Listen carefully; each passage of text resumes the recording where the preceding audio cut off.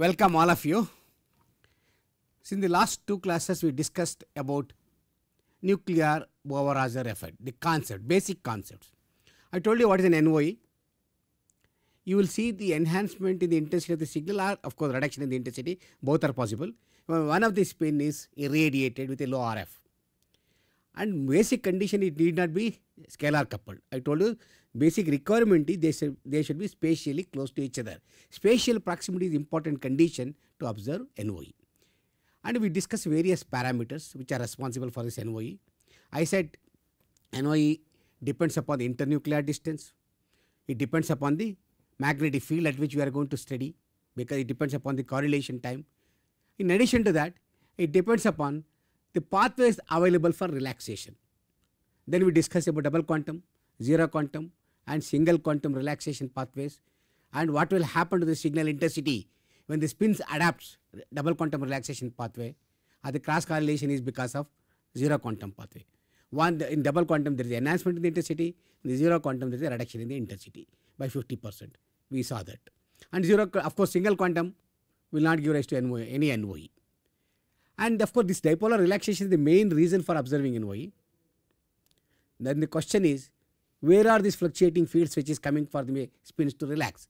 The spins will relax through dipolar interactions and there must be a fluctuating field for that.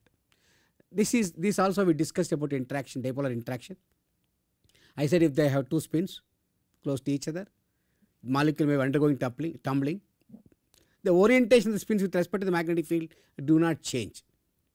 However, diagrammatically I showed you when the spins are undergoing motion, uh, undergoing rotation or changing the position, one spin will in, you know introduce or create oscillating magnetic field at the site of the other spin. Of course, vice versa. And these oscillating fields are responsible for the spins to relax. That's what I said. Then the question is these are the originating origin of the uh, spins to relax and we discuss about the fluctuating magnetic fields. So, these fluctuating uh, magnetic field releases energy and of course, when the molecules are fluctuating I mean undergoing motion to create a fluctuating magnetic field, there is a term called rotational correlation time which I said yesterday. And of course, we discussed about the spectral density function also. Spectral density function depending upon Larmor frequency and the correlation time I said. The correlation time now I will start from today the correlation time. It tells about the motion of the molecules here and the correlation time is you know defined as Tc. It correlates the orientation of molecule at two different times and depends upon several factors. In principle, it is time required for the molecule to undergo one rotation by one radian. That is the definition. But anyway, basically this is the important thing uh, you understand.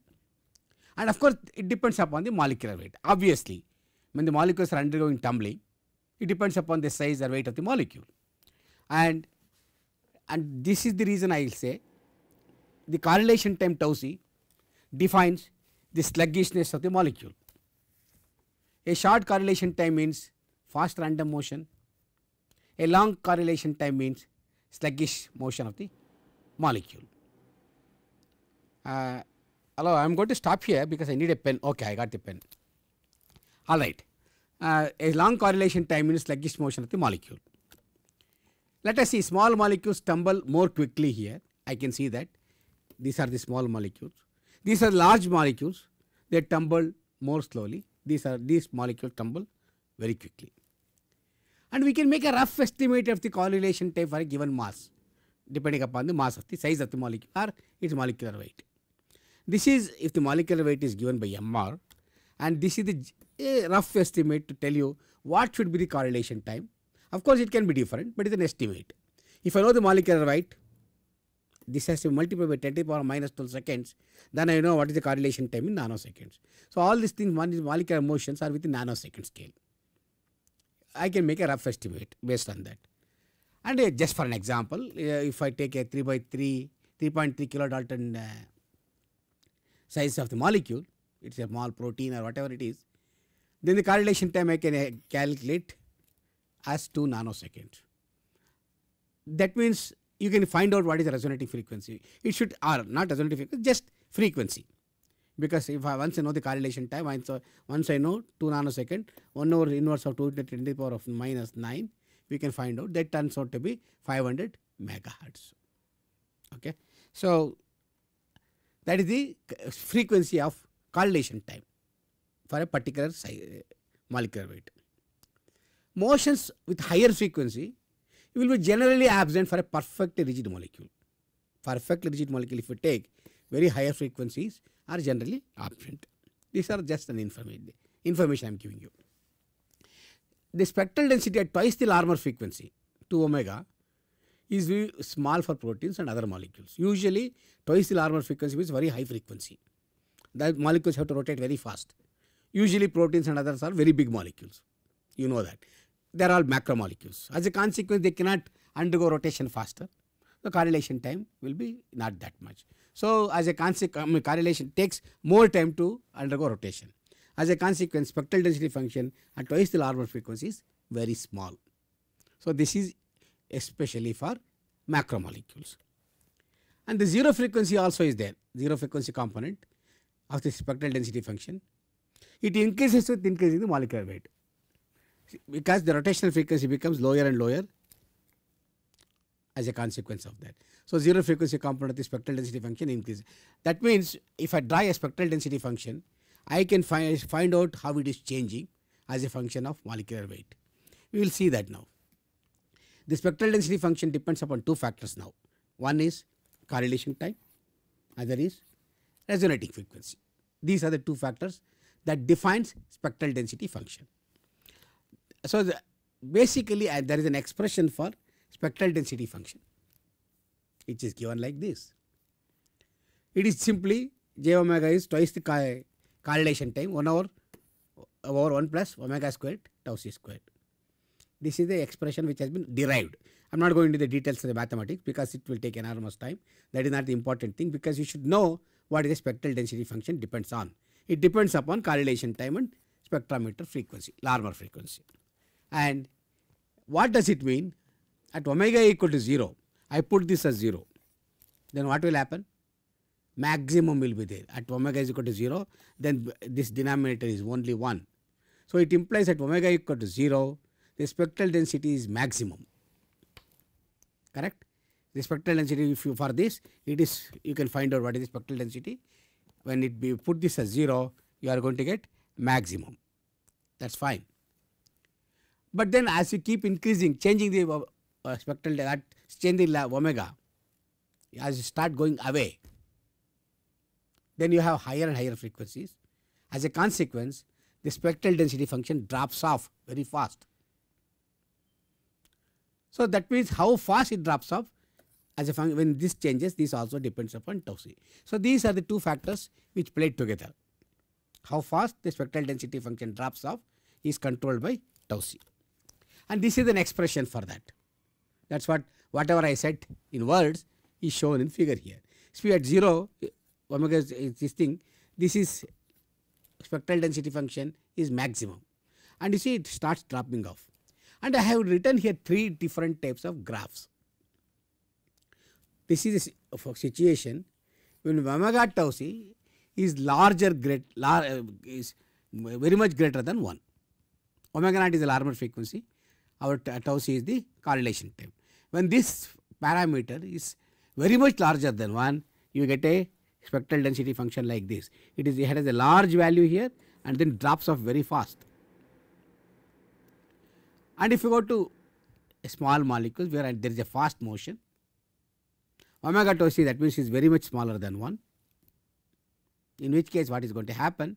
See there is a spread like this and then dropping off is very slow and in the intermediate situation omega tau C is approximately equal to 1 this is the graph you are going to get. This is the graph of spectral density function plotted as a function of omega. And when you take omega into tau c together and this is the graph you are going to get and this is called a slow motion uh, region this is a fast motion region for the molecules. So, this curve predict how the relaxation traits vary with the correlation time. This will define also the relaxation traits, how it vary as the correlation time changes. This is the graph to understand that. And one thing I want to tell you the total amount of the oscillating field is always a constant. For example, go in this graph. The total amount of the speculating field you are going to get is the area of this, this, and this, whatever you take. It's constant. The total amount of the oscillating field is constant. But the upper limit of the frequency vary with correlation time.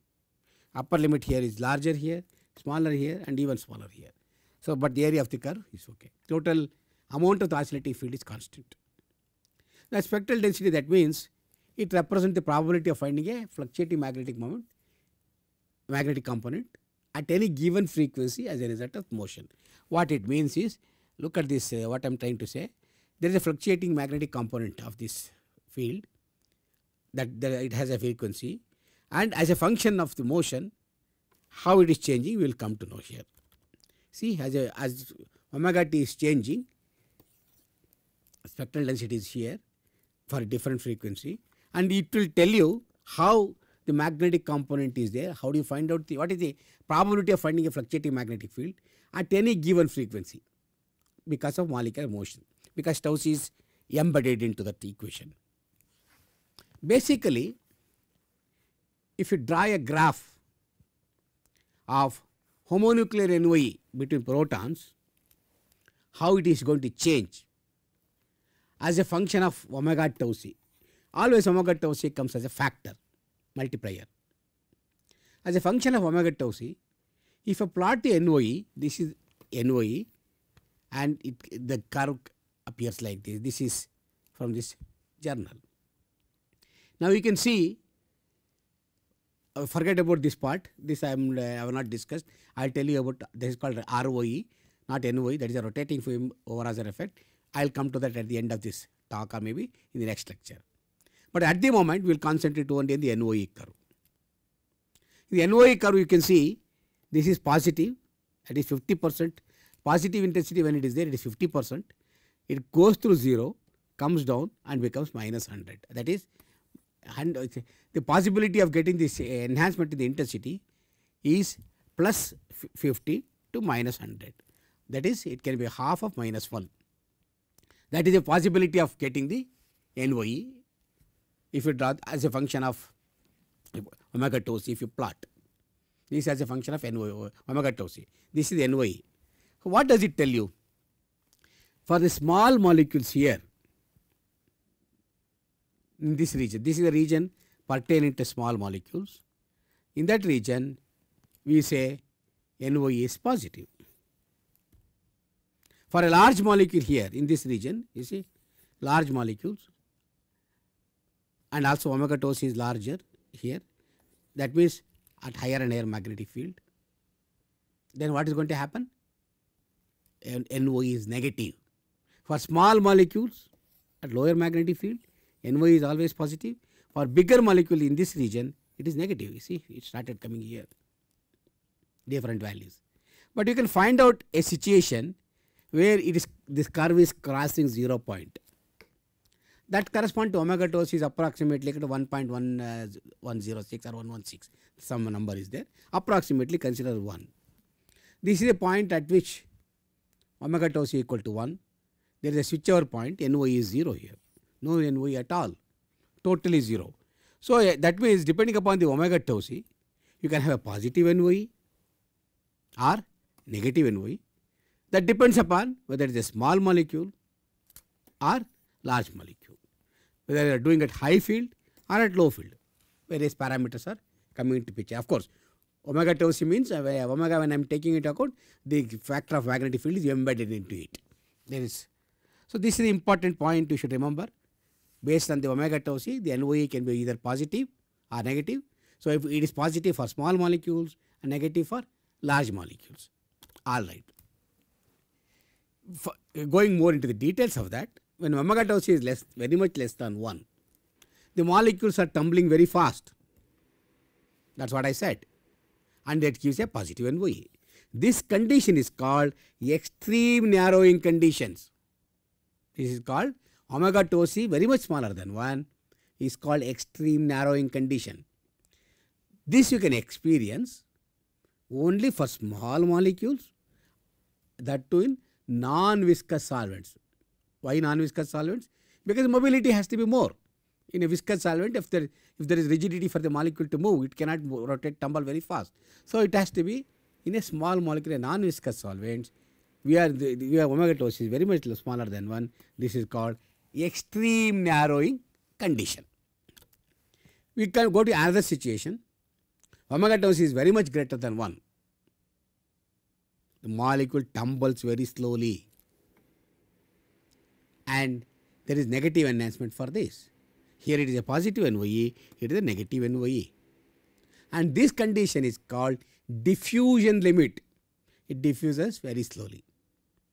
And this can be seen earlier I said it's for small molecules. Here this omega tau is very much greater than 1 in the diffusion limit generally experienced for proteins or macromolecule big molecules especially in viscous solvents also in both in protein and big molecules and in viscous solvents when omega tau will be greater than 1 you will experience this one molecules tumble very slow so extreme narrowing condition for omega tau is best smaller than 1 positive NOE and small, small molecules in non-viscous generally and also in non-viscous solvents. When omega tau is greater than 1, negative enhancement, diffusion limit, applicable for bigger molecules, macromolecules like proteins etc. and mostly in viscous solvents. And we go to the next situation, this is omega tau is approximately equal to 1. In this limit, the NOE goes to 0. When can it happen? It will happen for certain medium sized mo molecules and at certain Larmor frequency because the factor coming into the picture omega naught into tau c is the factor. So, either of them can be different either this can be larger or this can be larger does not matter, but the product should be approximately equal to 1. So, it can happen depending upon certain medium sized molecules and at certain Larmor frequency this factor becomes 1 and NOE will not be seen in such situations. Okay. Remember, we, we discussed three conditions. Omega tau is very much smaller than 1, omega tau is very much greater than 1, omega tau is equal to 1 and omega tau is when exactly equal to 1, there is no NOE. One is a extreme narrowing limit, other is a diffusion limit. That all we discussed. Extreme narrowing limit, small molecules, positive NOE and diffusion limit, big molecules, non-viscous solvents and, and uh, negative NOE. That's what we discussed. All right. The zero quantum transitions are thus favored by small molecules. Why? We saw that. See, generally zero quantum transitions are the favorable because of this one. The zero quantum process energy is small as the difference in the Larmor frequencies. Only when there is small molecule generally there will be zero quantum transition probability is more. For double quantum transition energy the sum of the Larmor frequency is there omega i omega 0. These transitions are stimulated by rapid tumbling of the molecules.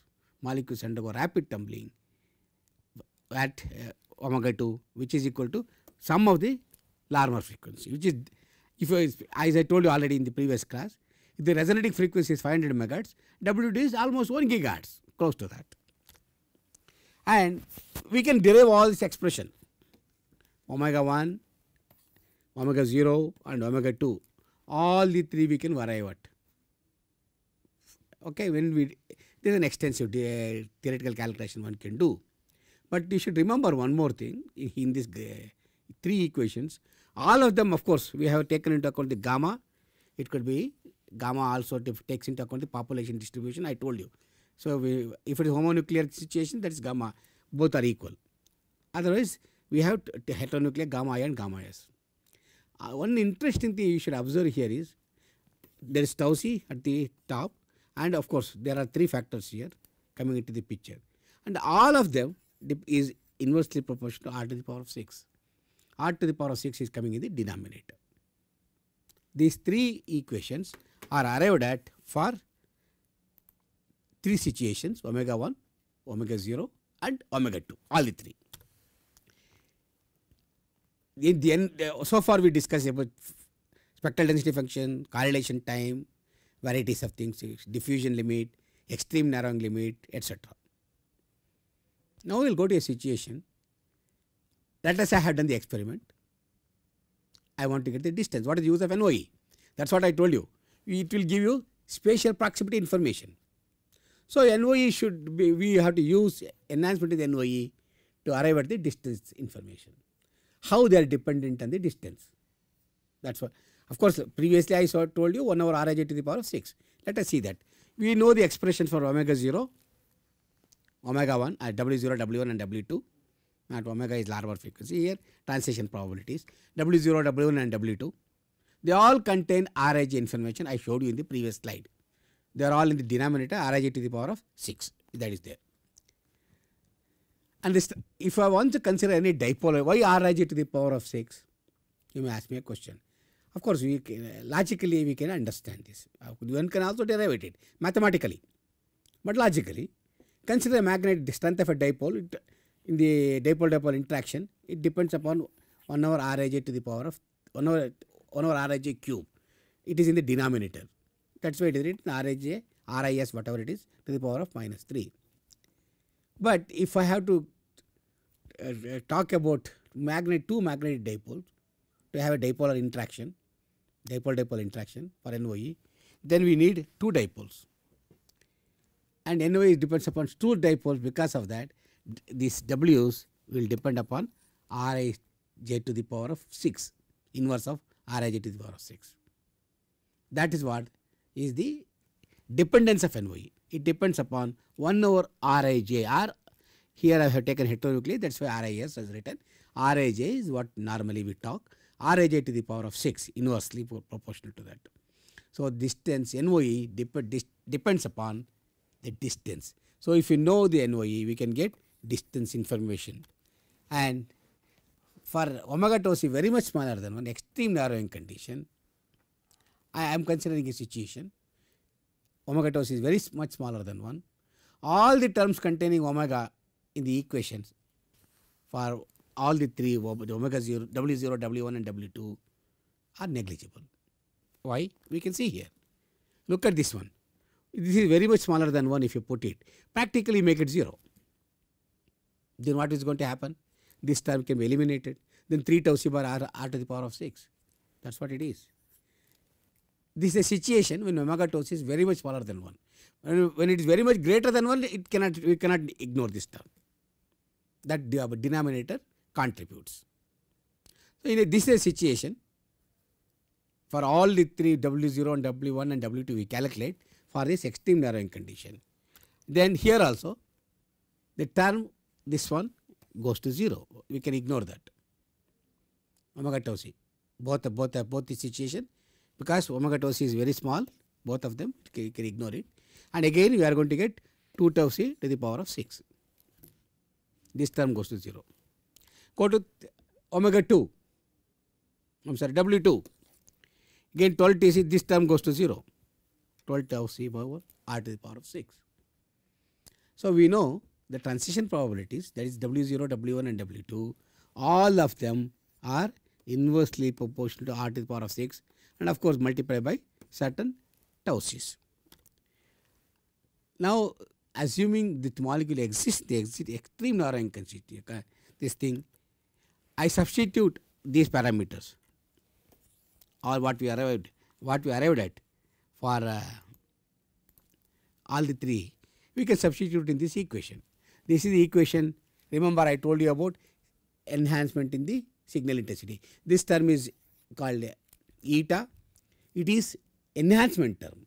If I saturate the spin S, how much is the intensity NOE I gain I am going to get pass gain or not is given by eta. Eta I tells you about the NOE factor when I am irradiating the spin S. And this was the equation given I told you earlier. Okay, so this is the situation. We will substitute that for all the W's what we arrived at at extreme narrowing condition. You substitute for this equation. We got in the, the previous two slides back. I showed you what is W1, W0 as while when we eliminate omega tau c form uh, parameter. This is what the terms we got for W2, W0 and this is for W1. We all we got. Same thing we substitute for this equation. Now you can calculate very easily r to the power of 6 here if you take a, take it out here also r to the power of 6 minus 6 take it out this cancels out and tau c also gets cancels out as a common factor. Then what is left here? 12 minus 2, 2 plus 6, 3, 2 into 3 6 plus 12. This is the equation you am going to get. What this equation tells me? Eta gain in the intensity when I irradiate a s- spin S at the site of I is maximum is half when in an extreme narrowing condition. I told you in an extreme narrowing condition the maximum gain in the intensity is half. That is what it is. This can be work, uh, shown by graphically like this. What will happen when I change the resonating frequency? How it changes? For two homonuclear spins as a function of tumbling rates, these are the tumbling rates, but at different radio uh, are different Larmor frequencies at 200, 400 things. But by and large, it follows same same pattern remains same, but only thing is omega tau is, is shifted a bit. Okay, depending upon whether you know what is the tau c. Depending upon the tau c anyway varies, and Larmor frequency we are uh, for a given molecule tau c is kept constant. This one varied. As a consequence, this omega tau c, this position is zero crossing over is shifting with a different Larmor frequency. This is what is expected because the factor is omega tau c is a coming as a multiplying factor multiplying factor. So, omega tau c matters when tau c is changing like this because this is also getting changed. All right. Enhancement in homo and heteronuclear case we will find out. For homonuclear case, for example, protons, both gamma is same in this expression. Okay. So, gamma A is equal to gamma x. I am taking A x spin system. What is the maximum NY you are going to get? 50 percent, half. What happened in the case of heteronuclear pins It goes by the ratio of the gamma because in this uh, heteronuclear case, gamma is not same. So, gamma ratio comes into picture. See, this is what the factor eta s is equal to this. Remember this thing. This we this I showed in the previous uh, two last two classes also. So if I this is equal to this, now this is equal to this half. So in the homonuclear case, this is identical. Gamma is equal to gamma i. So this is maximum is half. But in the heteronuclear case, this we have to take into account. Ratios of the gammas are important, and this is what happens. So for heteronuclear case, it goes by the ratio of the gammas. Okay. How much is the enha- enhancement of the intensity you are going to get? Enhancement in the NOE if proton is irradiated. My irradiation spin is that is gamma eta i into S in this flower bracket S. S is my proton. What is the enhancement in intensity for I? That is for different nuclei. When I irradiate proton, how much gain I am going to get? This is what it is. See, irradiated spin is proton and enhancement signal is enhancement is seen on the X nuclei. What is X nuclei? There are varieties of nuclei is given here. How much NY maximum we can get? If I irradiate proton for lithium, nearly 340 times enhancement of the signal. That is really enhanced, large, huge enhancement you are going to get. And go to the case of other carbon 13, 199. That is almost 200 percent. Intensity gets doubled. Here it gets nearly three and a half times. Here nitrogen 15, it is five times. See, this is the ratio of minus 494 times enhancement. For silicon, of course, negative because they are all negative nuclei with negative magnetic moment. Look at this one, rhodium. Almost 1600 times enhancement. This is also iron. So, depending upon the nuclei in which you are seeing the enhancement, this I am talking about heteronuclei. I am irradiating proton. I want to see what is enhancement in the other nuclei, heteronuclei. In which case, there is a significant advantage if you do NOE. Gain in the signal intensity is enormous. You will see that. That gives a lot of information. NOE is NOE gives a lot of information here. Okay. And another important thing, if I, when I was discussing carbon 13, I told you, if you remember, it is an important factor for improving the sensitivity of the low gamma nuclei. For example, when I was doing broadband decoupling of carbon 13, remember I said several ways of decoupling continuous wave broadband decoupling, gated decoupling, uh, you know, uh, decoupling without uh, uh, this thing NSA, NOE, all those factors we discussed. In the broadband decoupling, when it is done, when we look at the carbon 13, there is enhancement NOE, there is enhancement. That's what I told you at that time. There is enhancement in the NOE, which I said I will discuss later. This is the reason. When you decouple carb proton, absorb carbon 13, there is an enhancement in the intensity by nearly two times. That's 200 percent. And you can see that here. Gamma A into gamma X, uh, gamma over 1 over 2X. I saturate A spin and observe the gain in the X spin. X is the observation. The total intensity is given by this equation. I naught is the original intensity. That's what it 1 plus eta is the factor of that is the gain total intensity. When I am decoupling proton, this just substitute here, it turns out to be 2. That means I am observing carbon 13, I am decoupling proton, and this is the enhancement in the intensity. Nearly 200 percent. That means twice the signal enhancement will be there. All right. Instead of that, if I see proton, what will happen? We will see that. Of course, enhancement is given uh, on the proton when 13C is decoupled. Remember, now it is reversed. In the previous example, I observed carbon 13, decoupled proton, but here I am doing the reverse. I am decoupling carbon 13, observed proton. So, in our expression, in the whatever the nuclei which is there in the flower flower bracket, that gets changed. Here it gets changed. Here this is carbon 13, this is proton now, and this is what this intensity you are going to get about 12.5 percent. So, remember even in the case of detecting proton, there is a gain in the intensity on the proton signal when we decouple carbon 13. When we observe carbon 13 decouple proton, then 200 percent in the gain in the intensity, but here only 12.5 percent when I decouple carbon 13. That is because of the gamma and that factor is there. That is what I discussed. Okay. In the NOE so far we discussed a lot. How we get the gain in the intensity, everything we understood. Various factors that affects NOE. That also we so uh, in this class we discussed a lot about omega tau c correlation time. What is the omega tau c very much less than 1 extreme narrowing limit. Tau c very much greater than 1 it is a diffusion limit. Tau c approximately equal to 1 there is a limit where there is no NOE. Varieties of things we discussed and what what tau c correlates, what it, it defines about the about tumbling motion of the molecule. And tau c depends upon the molecular weight and the, or the sluggishness of the molecule, how it is rotating. Everything we understood. And of course, I also showed a couple of equations for the transition probabilities of W0, W1 and W2. When we substituted that in the enhancement in the intensity, where you know W2 minus W0, uh, W2 plus 2 Wi, all those the expression is there for the enhancement of the intensity. That is a Solomon equation, which I discussed couple of classes before. When we substitute this the parameters W1, W2, W0 for in the Solomon equations, for homonuclear case, we showed that maximum gain is half in the extreme narrowing limit.